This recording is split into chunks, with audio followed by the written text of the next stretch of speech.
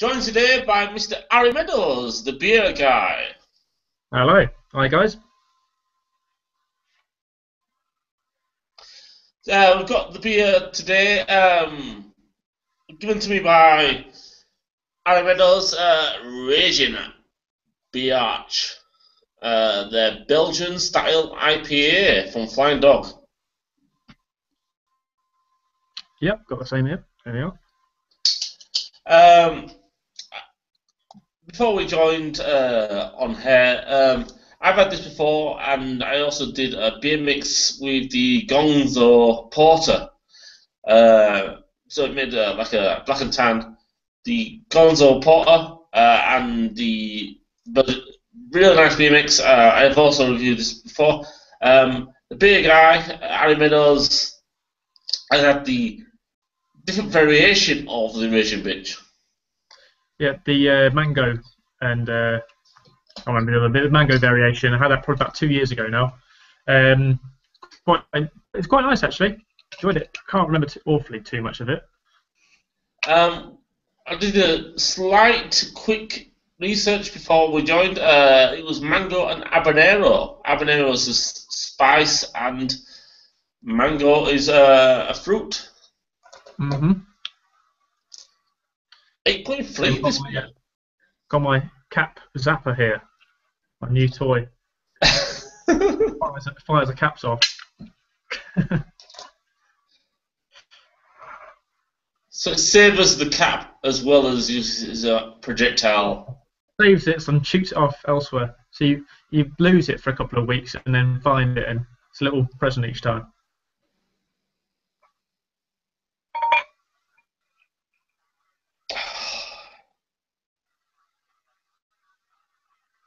It does smell like tin fruit. Yeah, um, like tin pineapple almost. Mm. Oh no, um, ne- nectarine, no, tangerine, nectarine. Yeah, definitely isn't nectarine, tangerine. Yeah. Uh, and again with a mixed, uh, like metallic, but um. Yeah. A tinny. tin. It's, it's got there's a like a, almost a pine, a piney flowery smell I'm trying to put on. Um, yeah. The, the way it just shoots straight up your nose. I mean, the artist um, creates a special presence with all the bottles. Uh, two inflammatory yeah. words, one wild drink, nectar imprisoned in a bottle, lest out it is cruel to keep a wild animal locked up, uncap it, release it, stand back, wallow in its golden glow in a glass beneath a white foaming head. Remember, enjoying a raging bitch, unleashed, untamed, unbridled, and in heat, is pure contour. Ralph Steadman. Now, um, uh, you work in construction and stuff like that, and you must deal with uh, artists of all types. Have you researched any Ralph Steadman? Uh, no, it doesn't doesn't come across. Um, I haven't heard the name to be honest. Um, mm. But no, it reminds me of that um, who used to do the ones for Roald Dahl, um, Quentin Blake. Oh, okay. Quentin Blake. I think it reminds me of some of his work when when he used to do uh, the like the twits or something. Just reminds me of him. Yeah. I mean, Ronald Dahl. Um, I mean, from all our childhoods, uh, made some really weird cartoon imagery. Mm.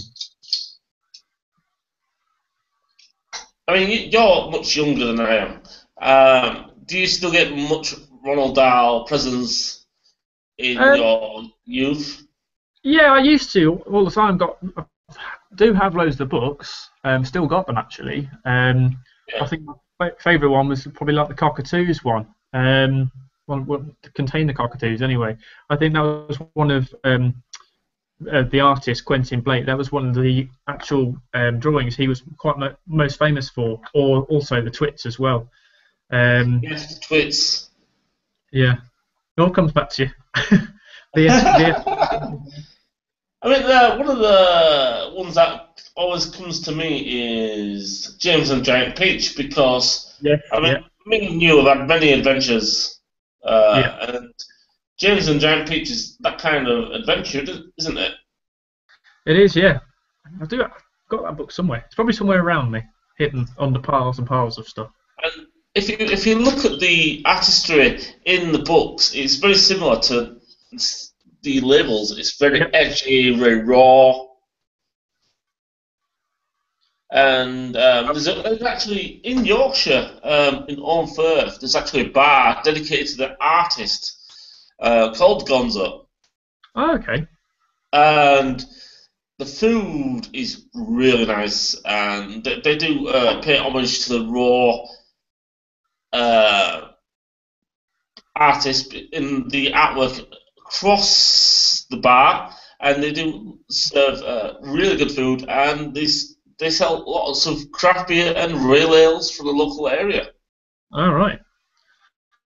And we uh, have something similar over um, and if, if you ever vi- visited Holmfirth, it's also uh, home of another Yorkshire tradition, Last of the Summer Wine. Oh, yeah, yeah, yeah. I know it. Did you have a chance to watch that when you was a young lad? Well, not much. In fact, I do not in this room. I do have a model. I remember those old. Um, I don't know what the models were made out of, but you know when they give you a model of a of a of a house or of a street Yeah. or something. I do have actually one from Last of the Summer Wine. Um, that's actually Nice. yeah, yeah. Um, that's not in here actually. It's next door, but um, it's one of the buildings, and it all used to you clip the buildings basically together. They're all made out of clay or something, and you'll just kind of put them together. And uh, I can't remember. they- It's been a long time since they've done that sort of thing, but it was usually be about 30, 40 pounds a set, and then you'll put them together and form Oh, a yeah. town. Um, but yeah, I used to collect those when I was young. I mean, did it inspire you to your uh, today we are adventures yourself? I mean, you you go to many adventures yourself, and you sample a lot of uh, beers from across the world. Yeah. Um, well, obviously, when I went to North Korea, I sampled some interesting beers there. In fact, I do have a couple of bottles with me. I've got my famous Ponghak 12 bottle. Um, and this was a beer, put it a little bit closer there, which we got in almost every single um, bar or pub in North Korea. Was the Ponghak 12. Um, was it 5% ABV? And it was just like a dark beer.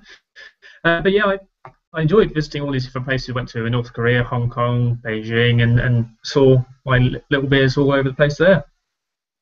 I mean, does it inspire you to drink uh, many other wild creations like the Flying Dog? Um, I, I think it does. I think I kind of enjoy going around all different places and seeing the local beers of that land as much as you go to a lot of Eastern Europe and there's not an awful lot of variation in taste of them, but um, Yeah. you need out for the for the real gems. And I think we found a couple in North Korea and we found some pretty awful beer as well, but there were some nice ones like Ponghak 11 as well. Yeah, I mean, uh, I don't know if you've, have had many from, from Flying Dog. Um, sometimes the beers can be really good from Flying Dog, and sometimes they can be not not so great. I mean, I've had um, the pumpkin beer, the Fear. Yeah. amazing on tap, and it's just quite average in bottle. Um, and this, even with um, the mega flavors and aromas, Hmm. You do get lots of metallic aromas and taste from the beer. Oh, you do as well. Coppery, really coppery actually. Yeah. But you get that taste of metallic and copper, but there's also other flavors coming through. There's, there's mangoes, there's pineapples, there's, there's again there's with the tangerines. Yeah. But it's, putting all that to effect, the beer's still making you want to drink more because you're getting all those different complexities. Quite a strong bitterness in it, like a Yeah, from all the different fruity flavors, and you've got the slight metallicness, which isn't for me isn't the nicest, but you still want to go back and drink because of all the um, fruity flavors Also- before. Yeah, same. I mean, would you suggest um, this kind of style of beer or this this beer alone to new drinkers of real ale and craft beer? Probably not. Um, firstly, because it's quite strong, isn't it? It's 8.3 or something, 8.3%. It's a yeah. bit strong. I, I, recommend IPAs to start off with because that's what I started off drinking beer. Yeah. Um, but in this strength, probably not. Um, and also, there's certain elements of the taste I think which may put future uh, or beer drinkers off. Um, so I would have to say no, but now I'm drinking it. I like it, really do like it. Yeah. Because me and you, we've drank beers from across the entire world. Uh, we can mm. capture all the flavours and stuff like that, and we know why it's like that. And it's got so much flavours. I mean, negative and plus, but it's still a really tasty beer. Yeah. That's quite I mean, um, would you say it's for the Belgian style alone? Uh, is it capturing any Belgian style flavour apart from the heavy sweet taste and the tangerine, which you, you get a lot with Belgian beers? Um, it's it's got the strength of a Belgian style beer, I, I could say.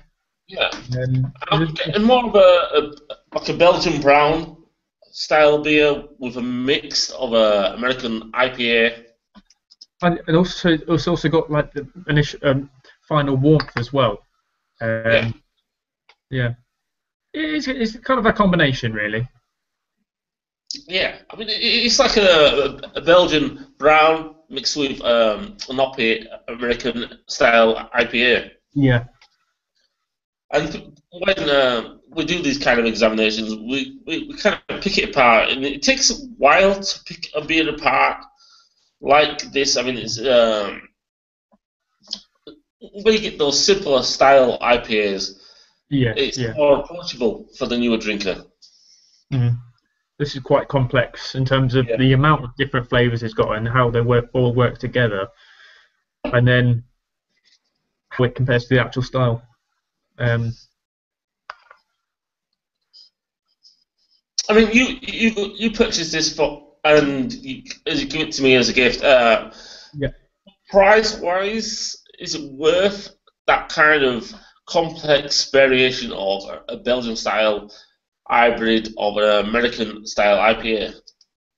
I think so. I mean, I didn't really pay for it, but I think the um, the what you pay for it is around three pounds over here, and obviously in yeah. or considerably less. Um, but yes, I think it's worth it because um, I look at IPAs in a similar sort of price range, similar style and quality of price range. They're all around two pound fifty plus, um, or, well, where I get them from anyway. But it's definitely worth it because it's got so much more flavour and and strength and more character to it than uh, the other ones, I'd say. Um, I mean, um, I think when I purchased it, I think it was about three pound to four pound. Yeah. I would easily pay that again. It's it's just a, a really nice complex. Mm hybrid of an American style IPA. Mm. Be forever picking out different tastes throughout drinking it. Each time you're picking out a different taste. Like I say, it's very complex. Mm. The mouthfeel is very nice. It's warming, but as well as coats the mouth the body is solid. It doesn't. I mean, recently we've been to many beer festivals together. Uh, we've had a lot of times when the body of the beer is being very, it's like watery and then yeah, yeah. thick water. The body on this is very solid. Very. It's, it's um, it's it's not watery. It's not too much. It's just kind of perfect and it, how it works with the rest of the flavors and without giving too much to you. Yeah. I do find that it's because of the solidarity of the body, it's just like kind of quaffable but dangerous on the same. Yeah, I'd, I'd say I agree with you to a certain extent. I mean, I wouldn't want to have too many No. of this, but but um, but yeah, because it's so easy to drink. Yes. Still, like I, I still find there's a little tinge in terms of the way it kicks down your throat. That's would what be telling me. Yeah, it's that, that reminder. Yeah, I mean, uh, the, the your terminology with this, we've, we've all met a raging bitch.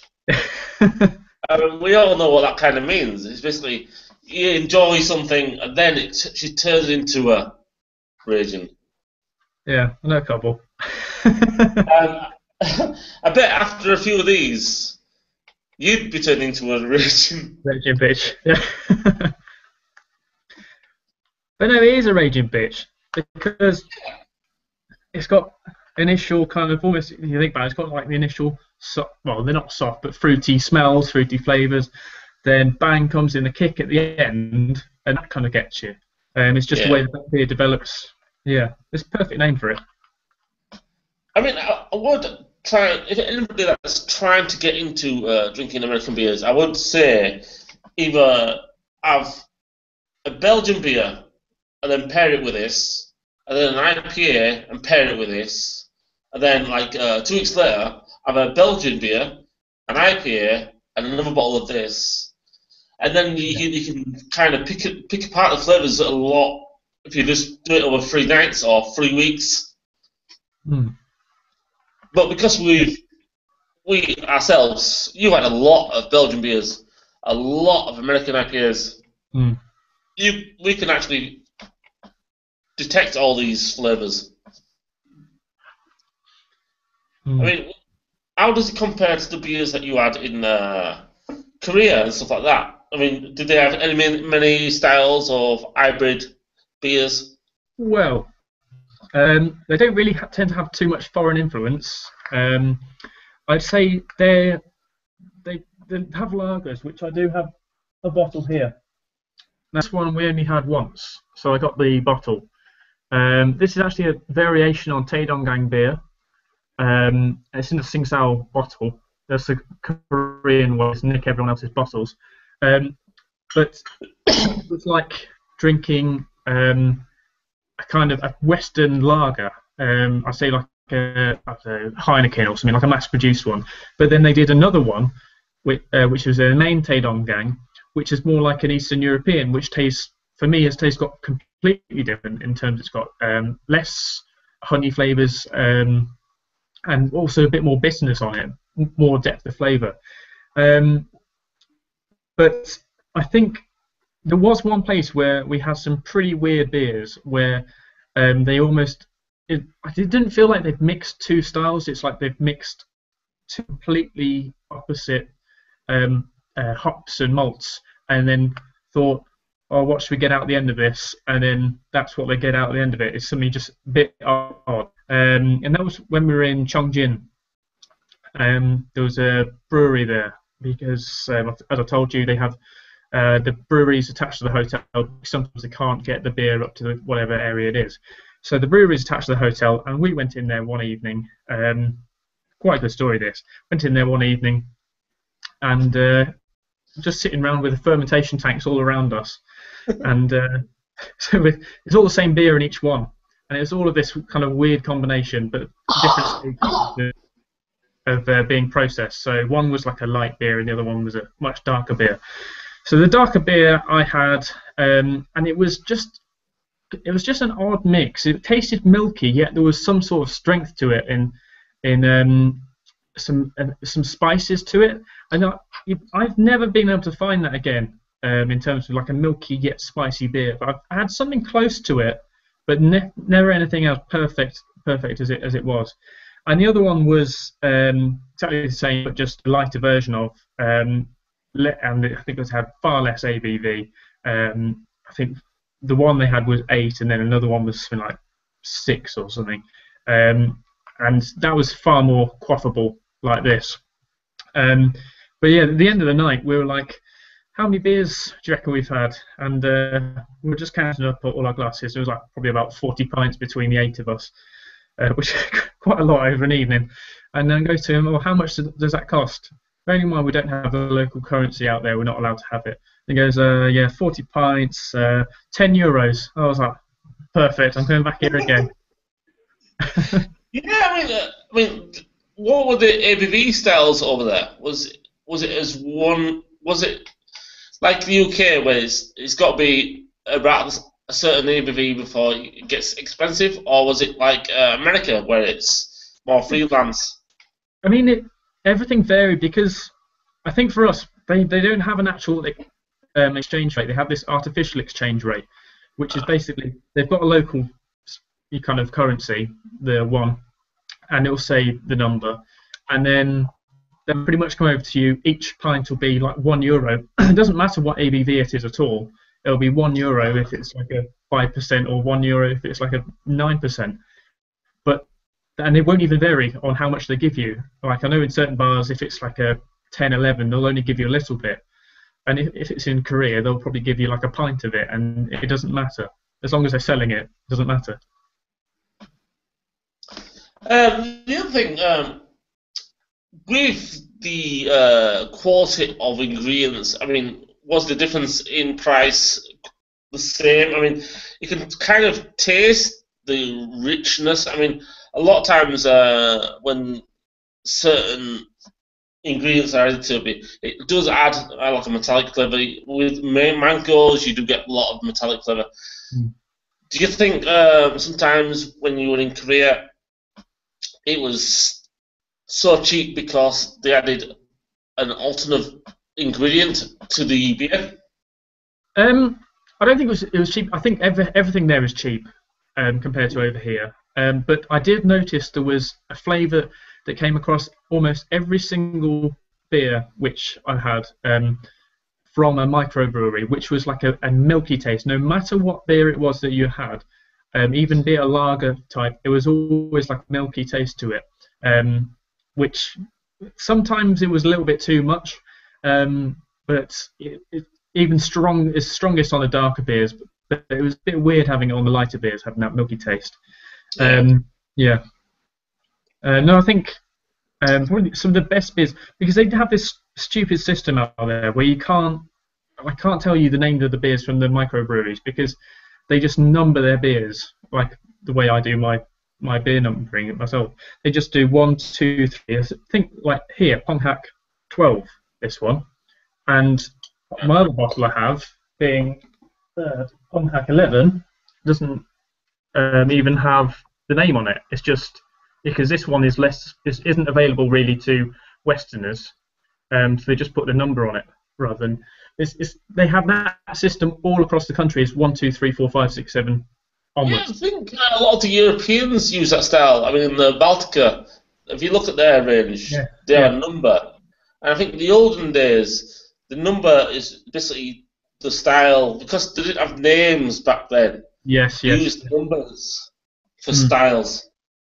And then now the now with recent uh, developments in technology and stuff like that, they're actually finding n- names and styles for numbers. But, and it's, it's, it's, weird when you're going up to a bar, and no matter what bar it was, it'd all be a diff. Each time it was different beer. You'd go, I'll have a number one, I'll have a number three, or something, and you you would never know what you're getting. They'd just say number one light beer, and it was always ranged from light to dark. That's how they yeah. spell. The system goes the same with bottles, um, but it was always light to dark whatever uh, pub you go to. So you have a one or a three, and sometimes it would be like a two can be a light beer, or sometimes a four can be a light beer. It varies all over the place. No one tells you anything. You don't really know, but it's kind of potluck each time. Just nice though, um, are you ginger? Because I'm sure you were blonde last time I saw you. I'm blonde. Just, uh, just lighting. I, I hope not my influences turn you ginger. but um, yeah, I'm enjoying it. The, again, the metallic feel is putting me off a little bit um, in the flavour, but I think that's from the the up flavour of the mango flavour. Yes, yeah. I mean, you you started homebrewing yourself. Um, when you was homebrewing, did you notice any when you're sampling that certain hops give off certain certain off taste? Um, yes, used Nelson Sauvin hops quite well, dry hopped with Nelson Sauvin, and um, which is a bit weird to do with a bitter, but I did um, just to see what flavour would come out. And when I tried it, I've only I've tried it twice since it was actually fully ready, but once before it was actually ready, and it gave the most strong bitterness I've ever I've ever had. Um, and it was just um, it was it was like yeah, I can't quite put my finger on what the flavour was, but it was like fruity bitterness um, with an, a serious kick. Um, but in terms of the alcohol and the warmth in it, but um, there was something just an off taste about it. I couldn't quite put my finger on what it is, but now it's fully ready. It's kind of gone away a little bit, but it's still there. What I find funny also is that um, even though no mangoes, no pineapples, no tangerines, no oranges, yeah, I put in this beer, but you put certain hops in a beer, and it gives you that flavour, taste, and all stuff. Yeah, and compare that to a fruit beer, and then they put the fruit beer in it, put the fruit in it, it makes it taste awful. Yes. and it's, it's weird that certain hops um, make you compare those kind of flavours. Hmm. But anyway, final taste, final thoughts hmm. on the Raging Bitch. Um, I'm enjoying it 100%. The only negativity is the metallic flavouring, and I'm guessing that's from the certain hops that, that's involved. Aroma is just very sublime. You're getting that Belgian style brown ale aromas with a soft American, uh, probably six percent American style IPA. You don't get you're getting more than eight percent from the Belgian style. Mm. But yes, it's very nice. It's very soft, complex. I'd suggest this. I mean, like I mentioned earlier, I'd suggest people try it with a, a Belgian beer. Uh, then the following week, try it with an uh, American style IPA, and then the following week, try it with all three, just to see the comparison. Um, your thoughts? Yeah, on, on the beer. Um, well, the smell is, is, as you as you say, very very strong fruitiness. Um, in terms of yeah, as we said before, tinned tangerines, but obviously the metallicness coming out there. The flavors, the, the, all the different fruits are really kind of having a battle in there. Um, so you're getting um, it's, it's, each time you drink it, you kind of notice a different one that comes out more strongly. But um, I just think tangerines, I'd say possibly pineapple. I'm getting a little bit of, um, and then uh, nectarine as well as the other one I'm looking for. Um, and then you get the kind of metallic flavors really coming through at the end with another warmth, big kick down the throat with the ABV. Um, but yeah, the the strength I like, um, the metallic I don't like, but the fruitiness is always worth coming back to. Um, so I put the link to the Beer Guy Adam Meadows channel in my description bar. Check out all these channels, uh, all these videos, uh, and yeah, uh, thanks for watching. And any final thoughts? Um, no, just try this beer if you can. Yeah. Yeah. Thank you. Goodbye.